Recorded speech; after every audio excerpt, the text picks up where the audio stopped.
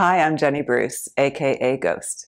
You've heard my songs on Dawson's Creek, How I Met Your Mother, Jake 2.0, and The Today Show. I'm here on invocation with Shefik, and I want to wish you a happy Hanukkah.